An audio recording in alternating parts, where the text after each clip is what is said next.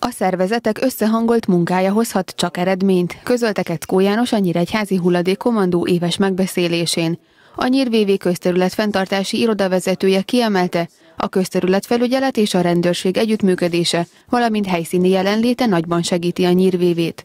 Az első nyíregyházi hulladékkommandót még 2004-ben az Emisszió Természet és Környezetvédelmi Egyesülettel közösen szervezték. Ma ott tartunk, hogy külterületeken sikerült jelentős mértékben visszaszorítanunk ezeket a lerakóhelyeket, mint pedig a lerakási mennyiségeket is.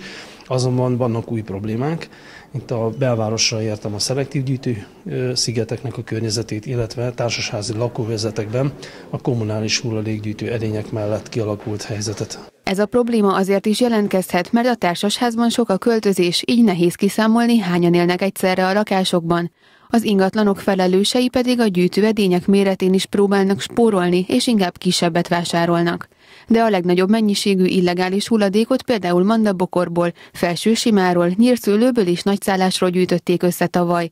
De minden évben komoly problémát jelent még többek között a hóvirág, az acél, az Orgona utcán, valamint a Huszár és a keleti lakótelepen lerakott illegális szemét mennyiség.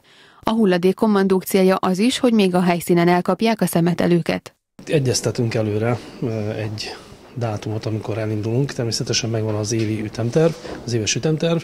Itt összegyűlnek a szervezetek egy megadott helyen, és közösen bejárjuk ezeket a területeket egy ilyen rajtaütéses szerű ellenőrzéssel. Ezen kívül vannak olyan ellenőrzéseink, amik nincsenek előre megbeszélve, és ezek alkalmával bármelyik szervezet jelzi azt, hogy ezen a területen észlelt illegális leragást, akkor azokon a területeken egy kicsit fokozottabb ellenőrzés legyen, így a megbeszélt időpontoktól eltérően is kimegyünk, teljesen adhok jelleggel, váratlanul, a nap legkülönbözőbb időszakában. A kommandó sikerességét az is jelzi, hogy tíz évvel ezelőtt csak a külterületi részeken 5-600 tonna illegális hulladékot gyűjtöttek össze az idei 173 tonnához képest. A nyírvévé az ellenőrzésre és a megsemmisítésre tavaly 8,2 millió forintot költött, de átlagban a tevékenység évente 7 millió forintos kiadást jelent a cégnek.